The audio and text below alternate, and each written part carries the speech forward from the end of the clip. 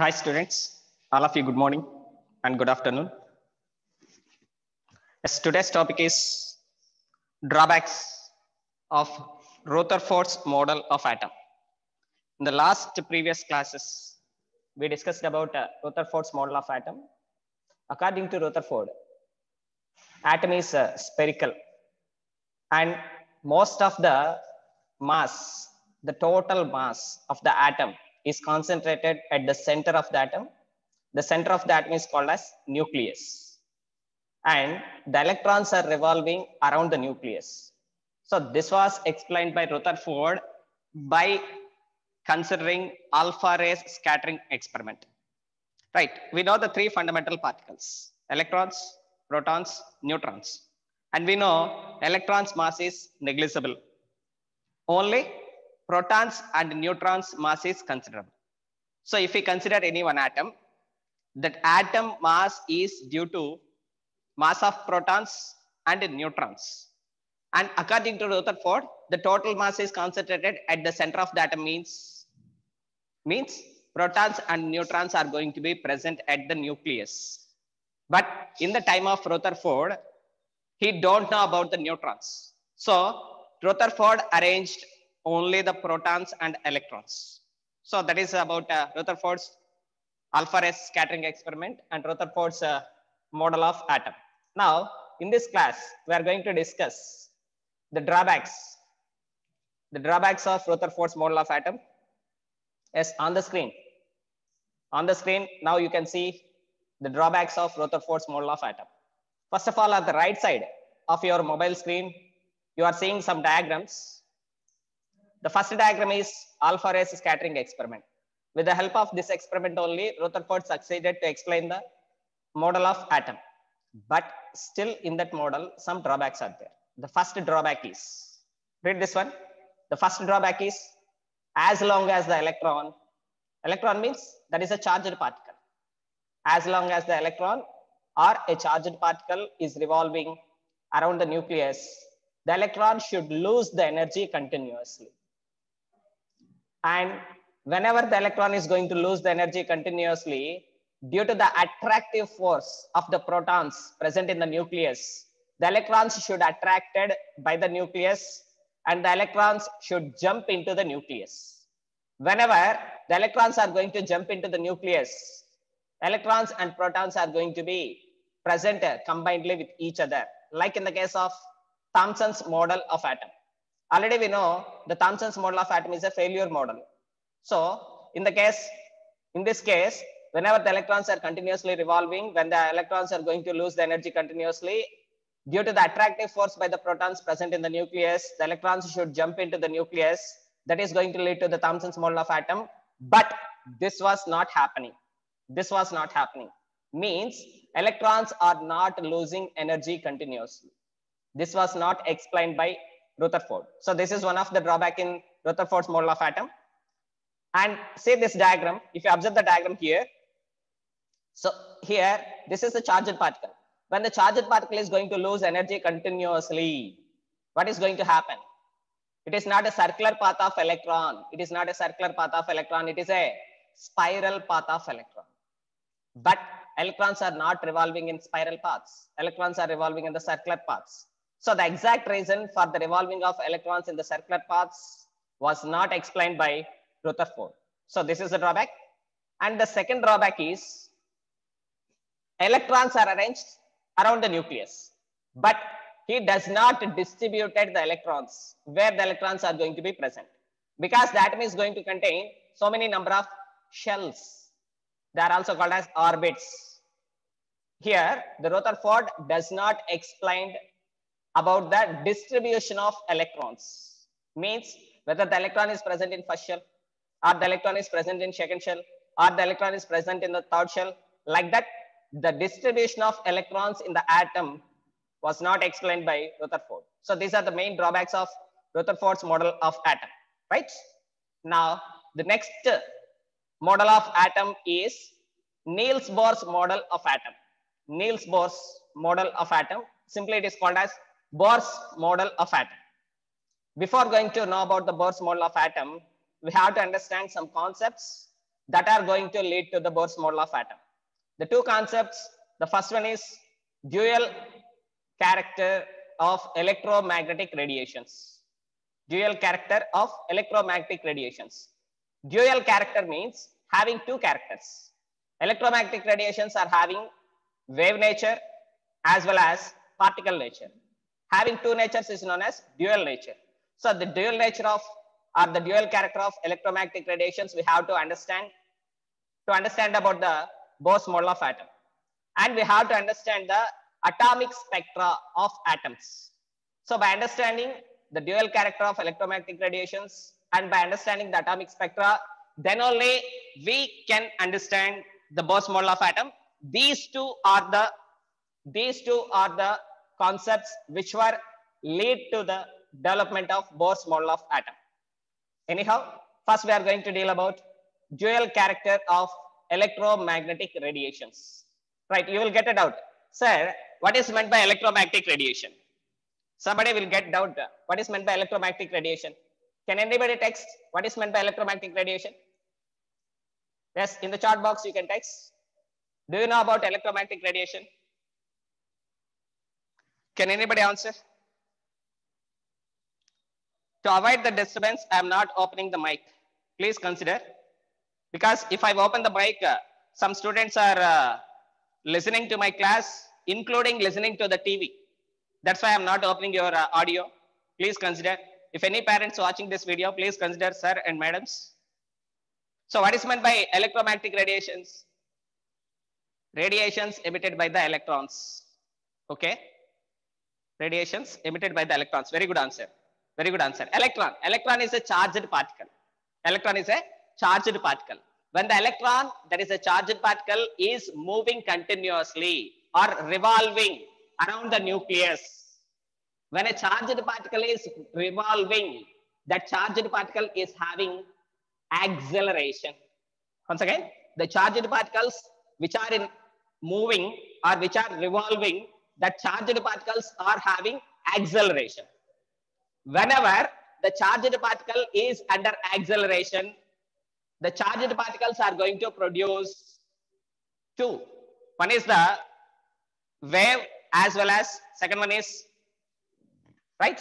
The charged particle is going to produce two things. One is the, one is the electromagnetic radiation is going to have electrical nature as well as wave nature. Here you can see some diagram. I will share the screen to you. Just a minute. From the NCERT textbook, I am going to share the textbook. Here you can see the formation of electromagnetic radiation, how the electromagnetic radiation is going to be formed. Yes, here you can see whenever a charged particle is under acceleration. Here you can see, just a minute. Yes, this is the diagram on the right side. If you observe the right side diagram, here, first of all, we are seeing three axes, x-axis, y-axis and z-axis.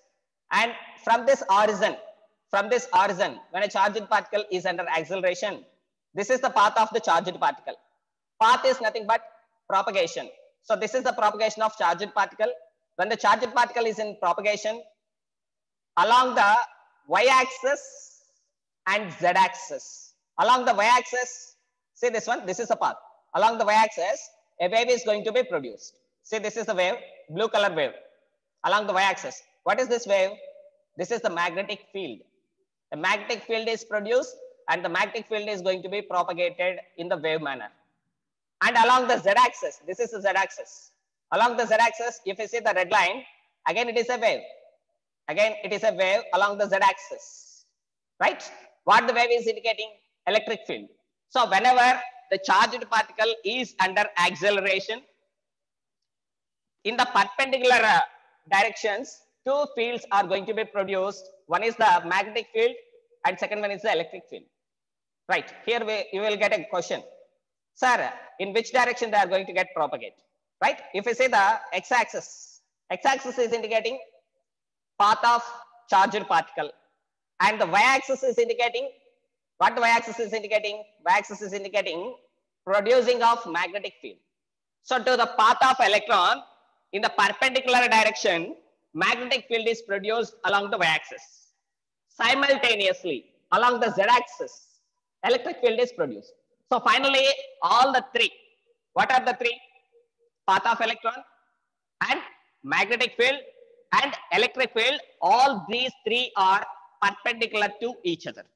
So finally, we can conclude that according to Maxwell, actually this was proposed by the scientist James Maxwell.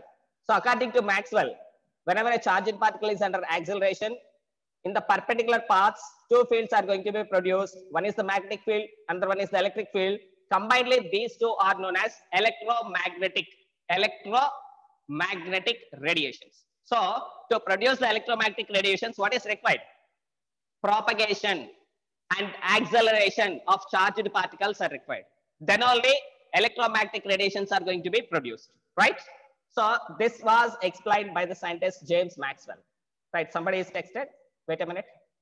Sir, can you please teach slowly? Yeah, okay, okay, fine. Somebody is saying that uh, my class is very slow. From the last three, four classes, somebody is saying that uh, I am teaching very slowly. That's why today I am going a little bit fast. Anyhow, I will go slow once again. Thank you. Thank you for your response. Sir, please repeat once again. Okay, fine, ma, fine.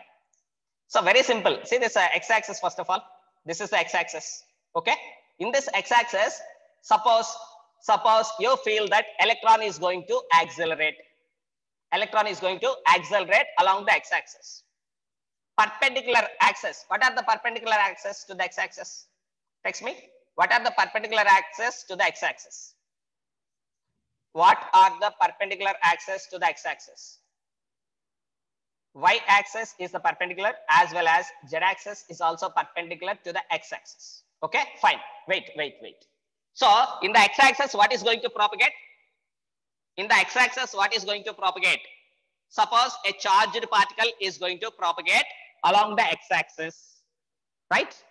Along the y-axis, magnetic field is going to be produced. Along the z-axis, electric field is going to be produced. So two fields are produced and both the fields are perpendicular to each other and both the fields are perpendicular to the path of electron or path of charged particle. Are you understood? Are you understood?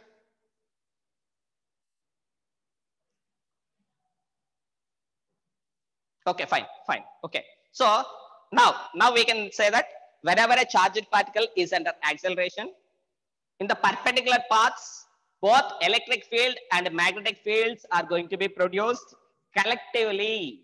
They are called as electromagnetic radiations. Once again, I'm going to point out this point here. This is the magnetic field. See this one? This is the magnetic field. Okay. And this is the electric field. So by combiningly, the magnetic and electric fields are called as electromagnetic fields and they are the form of energy. Hence, they are called as electromagnetic radiations. Right. Now, coming to the point. This was explained by James Maxwell. And if you observe this path, if you observe this path on the y-axis, if you observe the path on the y-axis, what is that path? If you observe the y-axis, what is the path of magnetic field? That is in the waveform. Sir, how are two axes formex formed? The question is not clear. Okay, just a minute. So if you observe the path of magnetic field, it is like a wave. Magnetic field is produced and the magnetic field is going to be propagated in wave manner. Simultaneously, here along the z-axis, electric field is produced. See the red line, red line. If you observe the red line, again you can see the path. Which type of path it is? Wave path in a wave manner. So what are going to be produced? Electric field is produced, magnetic field is produced, and both electric and magnetic fields are going to be propagated in wave nature. Wave nature. Right, coming to the point, wave. Wave is going to have some characters. The waves are having some characters. What are the characters of wave? How can we characterize a wave? Right, to characterize a wave, we are going to consider three fundamental concepts of wave. Three fundamental concepts of wave. Yes, here you can see the three fundamental concepts of wave on the screen. On the screen. Yes, very good. Bharat, very good. Amplitude. So wave is having one of the character, amplitude, very good. So wave is having, wave is characterized by, the waves are characterized by wavelength. Wavelength is indicated with lambda. The symbol of wavelength is lambda. And the second character of wave is, just a minute. The second character of wave is, yes, here you can see the second character of wave. What is the second character of wave? Frequency. Frequency is indicated with nu. The symbol is called as nu, N-E-U. Once again, N-E-U, nu. Frequency is one of the characteristic of wave. The symbol is nu. Okay. And one more character of wave. Yes, on the screen. Wave number. Wave number is one of the characteristic of wave represented with nu bar. Here you can see some dash. Here you can see some dash. The dash is called as bar, nu bar. So in today's class, we are going to discuss three characteristics of wave. First one is wavelength. Second one is frequency. And the third one is wave number. Right, somebody is texted. Yes, coming to your point. Yes, very good, very good response. Yes, exactly, exactly. So finally, we are going to define three fundamental things. First one is the wavelength. Yes, can anybody know about wavelength? What is the definition of wavelength? Yes, on the screen you can see the definition. What is wavelength means? The distance, distance between any two successive points. Here is the word important word, two successive points. Once again the definition, wavelength means the distance between any two successive points in a wave is called as wavelength. If anybody writing the notes, you can write down. Otherwise, just you can take the screenshot. After taking the screenshot and after the completion of the class, you can write down the running notes. But my dear students, once again, I'm saying that no need to write off any running notes because here we are teaching now PU. For the PU level, just you can listen to the class and then you can go through the GWith material for question and answers. But to understand each and every concept, please purchase NCERT chemistry textbook, read each and every line, try to understand each and every point. If you are unable to understand, don't text any questions to my WhatsApp number. Just simply you can call me between 7 p.m. to 8 p.m. Note down the time between 7 p.m. to 8 p.m. You can call me. We will discuss in the call, not in the WhatsApp groups. Because it is very difficult to explain in the WhatsApp just by texting. It is not easy to understand to you also. So try to call between evening 7 p.m. to 8 p.m. If possible, I will send a Zoom link. so in that Zoom link, again like this, we can discuss your doubts. So thank you for uh, understanding my points. Anyhow, it is about wavelength. Wavelength is indicated by the symbol lambda. The symbol is called as lambda. What is wavelength?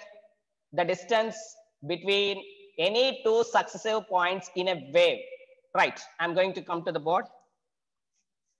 Yes, here I'm going to define the wavelength. So wavelength is one of the characteristic of wave. How can we define the wavelength means? Wavelength is indicated by lambda. Suppose I am taking a wave. This is the y-axis and it is the x-axis. And this is the wave originating point. From this point, wave is going to get originate. And wave is going to have what the wave is going to have. This part, this total part of the wave. This total part of the wave is called as crest. C-R-E-S-T, crest. And this part of the wave. This part of the wave is called as trough. This part of the wave is called as trough. So what the wave is going to contain? Wave is going to contain crest as well as a trough. Okay. In this diagram, how many crests are there? How many crests are there? Two crests are there. This is one crest. This is one crest. My dear students, please consider the size is going to be similar. The size is same. don't consider the sizes different because on the board it is not easy to write the exact sizes. So this one and this one are considered as same. So suppose if I take this point here, suppose if I take this point and next I'm going to take this point to this point, to this point, this point is a successive point. Once again, to this point, this point is a successive point, right? Like that, to this point, suppose I'm taking a point here at the wave, to this point, this point is the successive point.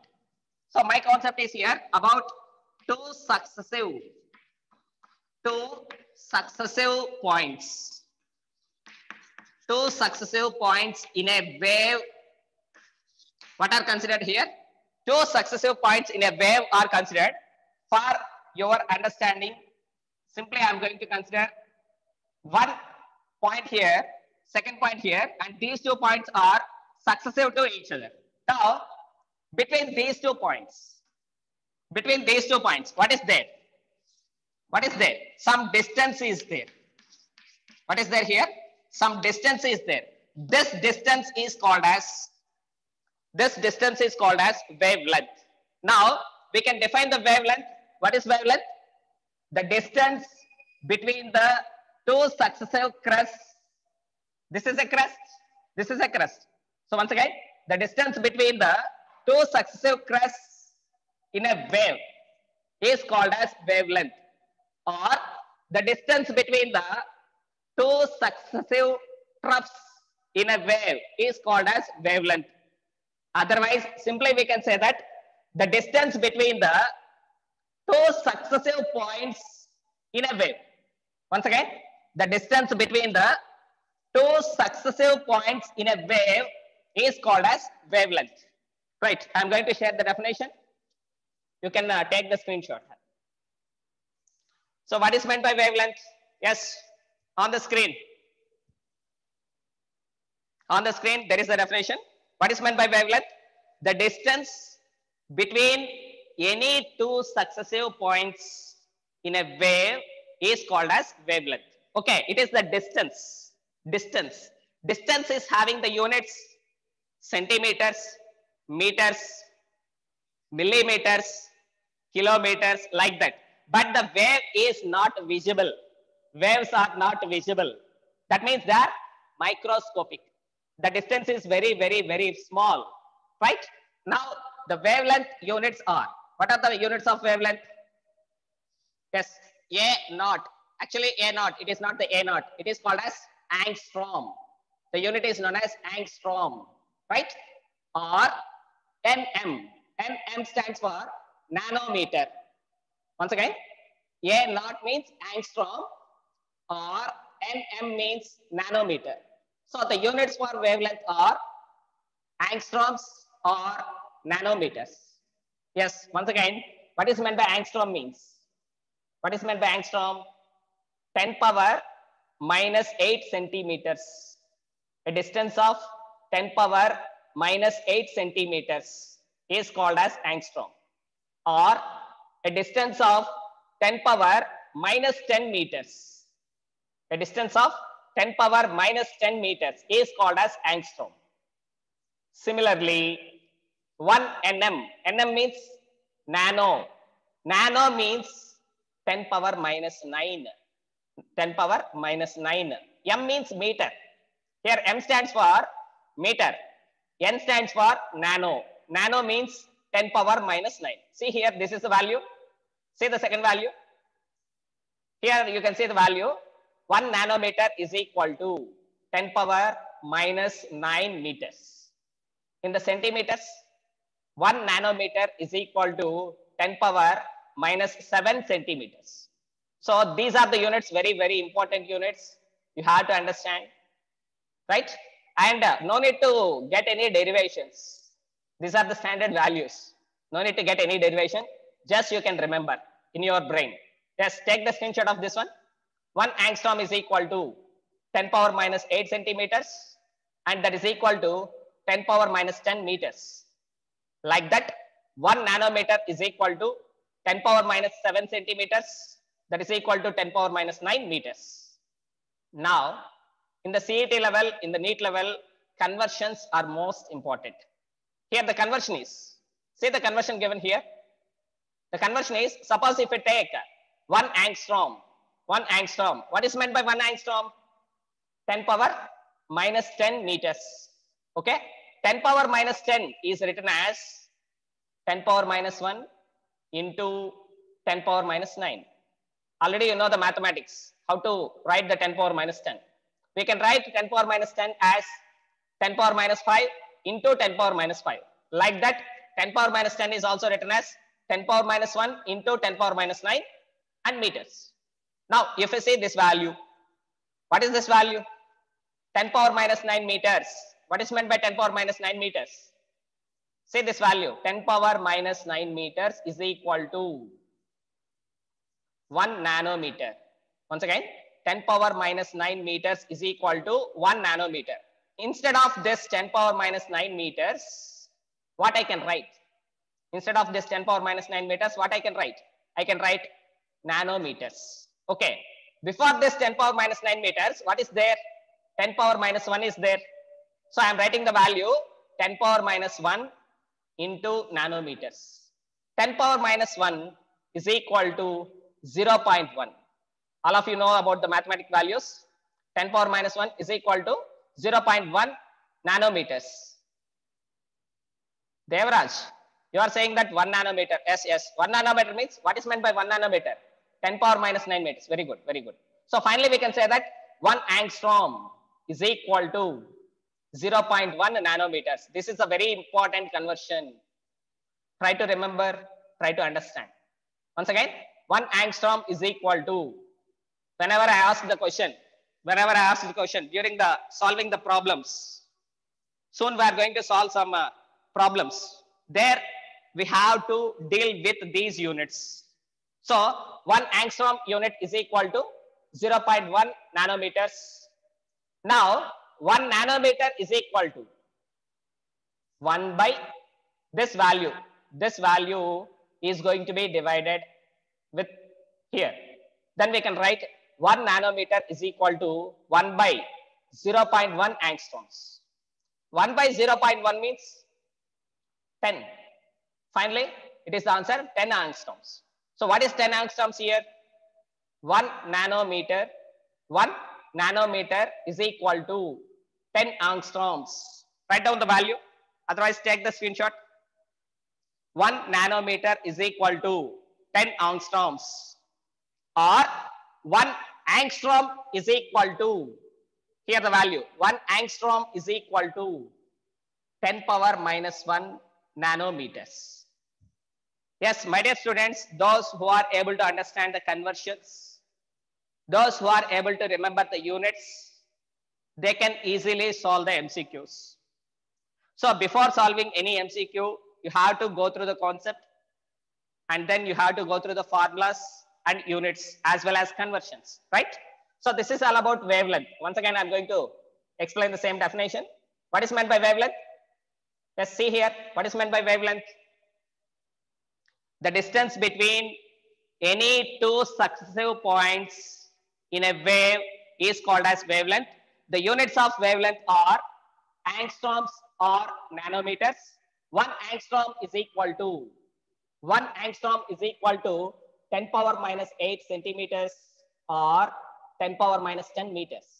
Similarly, 1 nanometer is equal to 10 power minus 7 centimeters or 10 power minus 9 meters. By taking all these values, then we can write the conversions. 1 angstrom is equal to 0.1 nanometers or 10 power minus 1 nanometers and 1 nanometer is equal to 10 angstroms. So this is all about uh, one of the characteristic of wave. That is the wavelength. Right. Next the second characteristic. Say the second characteristic? The second characteristic of wave is the second characteristic of wave is frequency. Frequency. Frequency is indicated by the symbol nu. N e u. N e u. Nu. Frequency. Now the definition. What is the frequency the number of waves that are passed through a point per second.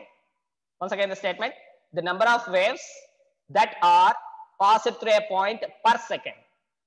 Right, you will get it out. How can we understand this one, sir? So what is meant by frequency? How can we understand the frequency means? To understand the frequency, to understand the frequency of wave, frequency is indicated by the symbol nu. Okay. Once again, I am writing the wave. This is a wave, right? Suppose from this point, suppose from this point, or suppose from this point, you can take any point. You can take any point. At this point, from this point, in how many seconds? In how many seconds? In one second, from this point, suppose some 10 waves are passed. 10 waves are passed through that point. Through this point, at one second, how many waves are passed? Suppose 10 waves are passed. Then the frequency is taken as, then the frequency is taken as 10, right? Suppose, instead of taking this point, suppose I'm going to take this point. Where I'm going to take the point? I'm going to take the point in a wave. So in the point of a wave, per second, per second, one second means per second, some x number of waves, some x number of waves, x number of waves are going to be passed through this point. Then this x is called as frequency. So we can define the frequency as the number of waves that are passed through a point per second. Right, once again, I'm sharing the screen. For your convenience to write the notes on the screen, the definition is there on the screen. Frequency means the number of waves that are passed through a point per second. Right, now you'll get the unit. Per second means, how can we write the unit per second? Per second is written as Yes, this is a unit. Per second is written as second inverse. Second inverse. Or this is per. This is a symbol per. Per second. Right? Otherwise, we can write the units HZ. HZ means hertz. H-E-R-T-Z. H-E-R-T-Z. Hertz. Yes, I am coming to you. Hertz, very good. Yes, exactly. So once again, the same definition. What is frequency? What is frequency? The number of waves that are passed through a point per second. Okay. So that is all about uh, frequency. That is the second characteristic of wave. And coming to the third characteristic of wave. The third characteristic of wave is wave number. Wave number. Once read the statement on the screen. Wave number means the number of waves, the number of wavelengths, sorry, the number of wavelengths present in unit length of wave. Once again, read the statement. I will explain on the board. Wave number is defined as the number of wavelengths present in unit length of wave. Right? Here I am going to explain the definition. One of the characteristic of wave that is wave number. Wave number. Wave number is represented by nu bar. nu bar, right? Once again, I'm taking the wave. This is a wave having crest and troughs, right? In unit distance, in unit distance means, suppose I'm taking the distance, this distance. I'm going to consider this distance in this wave. How many wavelengths are present in this wave? Can anybody guess? In this wave, how many wavelengths are present? Not in this distance, not in this distance. In this wave, how many wavelengths are present? One, two, three. Exactly. Is it three? Is it three or four? Is it three or four? Suppose I am taking this point. Suppose I am taking this point. From this point to this point, these two points are identical points. Identical points, right? Actually, this is the wave generating point. We should not consider here. So suppose I'm going to take at this point, right? From this point to this point, identical point, successive point. From this point to this point, successive point. From this point to this point, successive point. And from this point to this point, this is a successive point. So how many successive points are there? Four successive points are there. The distance between any two successive points is called as wavelength. So this is one wavelength. This is one wavelength. This is the second wavelength. And this is the third wavelength. And this is the fourth wavelength. So in this uh, wavelength, suppose the unit distance is taken. I'm taking this unit distance from this one to this one, from this one to this one. How many wavelengths are present? In this total wave, in this unit distance, how many wavelengths are present? Right, two wavelengths are present. That is called as that is called as wave number. Right? Are you understood? What is meant by wave number? The number of wavelengths present in unit distance of a wave. Once again, the number of wavelengths present in unit distance of a wave is called as wave number. Wave number is represented by nu bar. Right, once again, here also distance is there. Distance is there.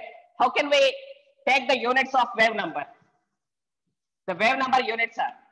One more definition for wave number. Somebody is texting uh, an irregular message. Lakshya Jain, what is that ASDF uh, something? Every text is going to be recorded here. Every text is going to be recorded, right? I will send the text to you also. No need to worry. Just a minute. I will share the screen to you. Little bit time is there. Just, just a minute, please. Just a minute. So, wave number, one more definition for wave number. See the second definition for wave number. The reciprocal, the reciprocal of wavelength is called as wave number. Reciprocal. How can we write the reciprocal? All of you know the mathematics. What is the reciprocal? Reciprocal of wavelength. Wavelength is lambda.